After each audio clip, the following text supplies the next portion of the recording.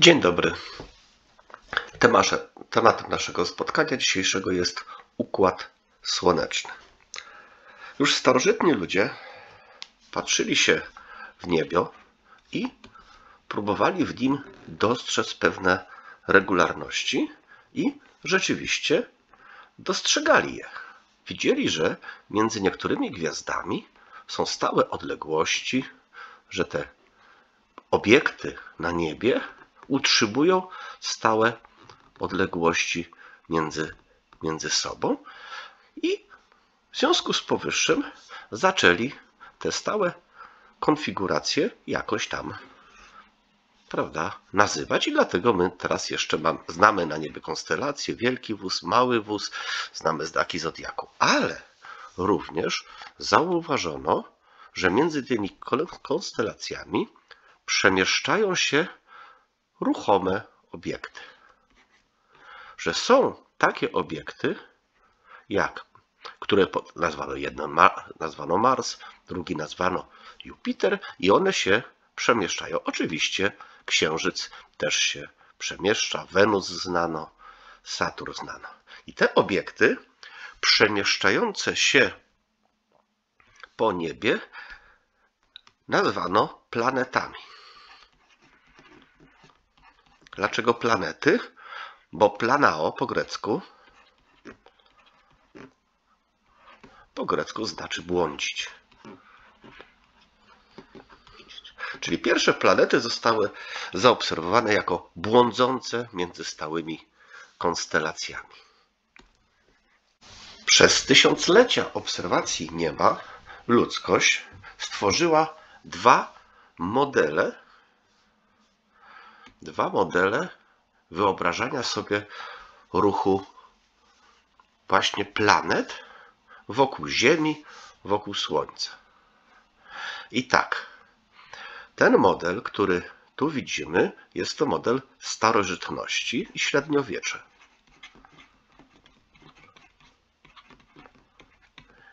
I średniowiecze.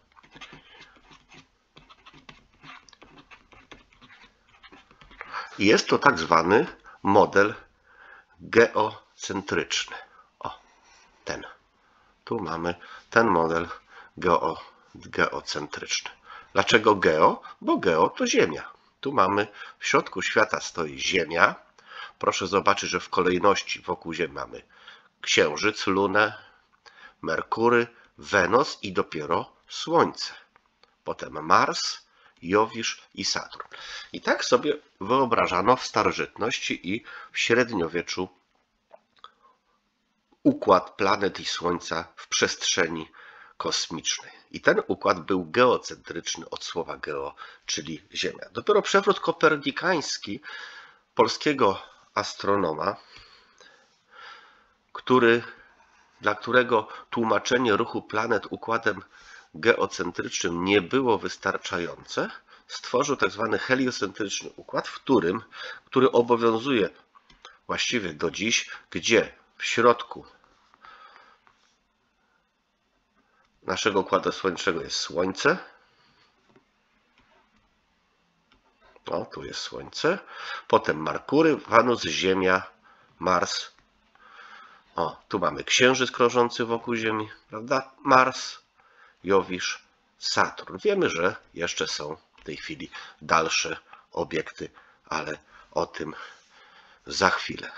I obecnie obowiązuje ten heliocentryczny układ, nazwijmy ten okres nowoczesność albo nowożytność. I ten układ Wam za chwilę omówię. Obecnie obowiązujący układ słoneczny wygląda w ten sposób, że mamy jako bazę nasze ogromne Słońce i osiem planet. Raz Merkury, Wenus, Ziemia, Mars,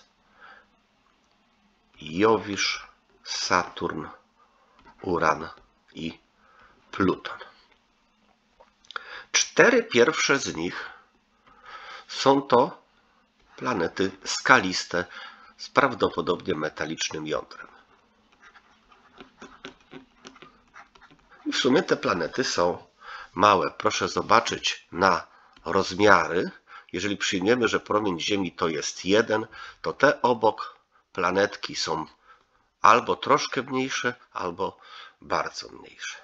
Następne dwie planety są to tak zwane gazowe olbrzymy.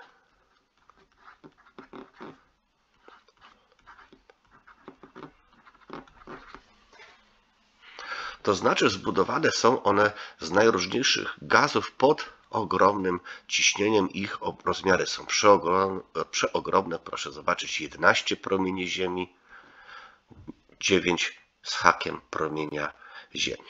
Dwie ostatnie planety również są wielokrotnie większe od Ziemi i nazywamy je lodowymi olbrzymami.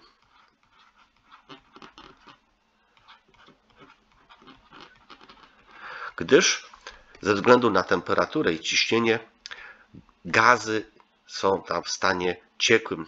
Być może uważa się, że głównie mamy tam ciekłą wodę, ciekły amoniak, ciekły azot. Oprócz ośmiu poznanych planet mamy jeszcze tak zwane planety karłowate. Zaliczamy do nich Plutona, Eris oraz Ceres. Pluton jeszcze był przez jakiś czas uważany za planetę, potem został zdegradowany i znajduje się za Neptunem i za nim jeszcze mamy planetę Eris, która jest nawet większa od Plutona, oczywiście uważana za planetę karłowatą. Natomiast między Marszcem a Jowiszem znajduje się pas tysięcy planetoid.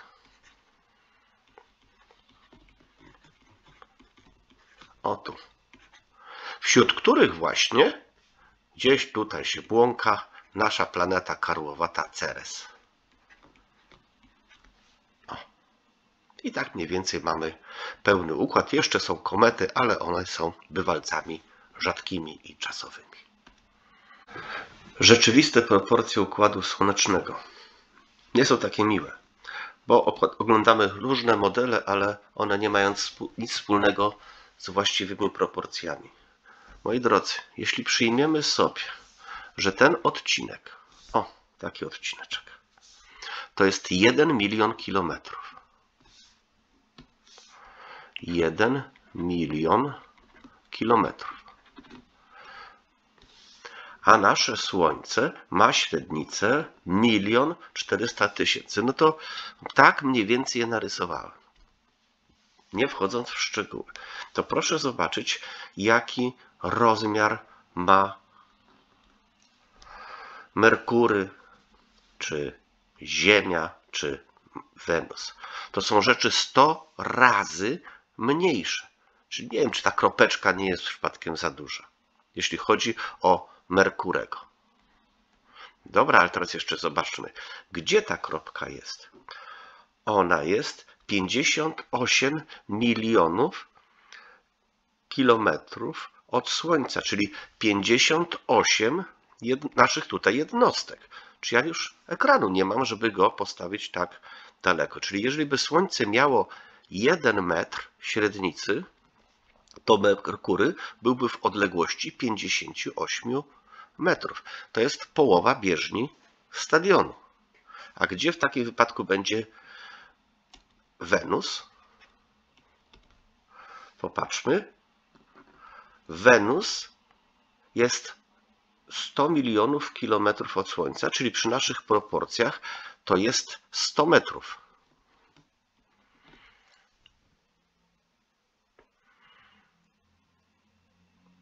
czyli na końcu bieżni przy wyścigu na setkę, kiedy swoboda biegnie na 100 metrów, to tak daleko jest kropeczka zwana Wenusem, a Ziemia, nasza Ziemia jest jeszcze dalej. 150 milionów kilometrów, czyli 150 metrów.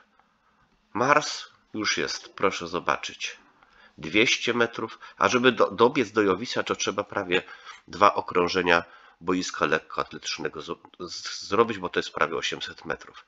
Czyli tak naprawdę te piłeczki te malutkie kropeczki planet rozmieszczone są bardzo, bardzo daleko w kosmosie. I na koniec takie rozważanie. Prędkość światła jest rzędu 300 tysięcy kilometrów na sekundę. Światło ze Słońca na Ziemię biegnie około 8 minut. To szybko czy krótko? No to znajmyśmy proporcje. W 8 minut ze Słońca z prędkością 300 tysięcy km na sekundę. Ale proszę zobaczyć, w naszych proporcjach Ziemia jest oddalona zaledwie 150 metrów od Słońca w naszych proporcjach. Jak trzeba się guzdrać, żeby 150 metrów przeleść przez 8 minut? Biegacze to robią w kilkanaście, w kilkadziesiąt sekund. Czyli tak naprawdę, jeśli chodzi o proporcje kosmiczne, światło, prędkość światła, czy jest naprawdę taka szybka? Skoro do najbliższej gwiazdy światło musi lecieć aż 4 lata? Hmm? Ciekawe rozważanie. Mam nadzieję, że się podobało. Dziękuję. W związku z tym, że odległości w kosmosie są takie ogromne, wymyślono jednostkę astronomiczną.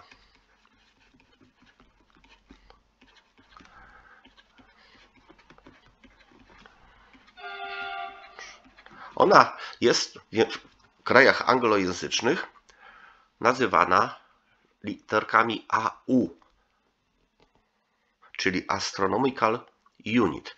I jedna jednostka astronomiczna, czyli jedna Astronomical Unit równa się 150 milionów kilometrów.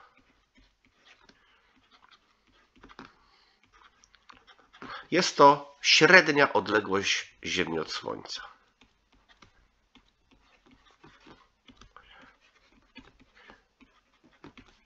Od Słońca. Taką przyjęto jednostkę. Czyli na przykład, jeśli Neptun krąży w odległości krąży w odległości na przykład 30 jednostek astronomicznych od Słońca, to znaczy, że jego odległość 30 AU równa się 30 razy 150 milionów kilometrów Czyli to się równa 3 razy 15 jest 45 i 2 zera milionów kilometrów. Albo inaczej mówiąc, przesuwając przecinek, to jest 4,5 miliarda tym razem. Miliarda kilometrów. O, takie są odległości w kosmosie.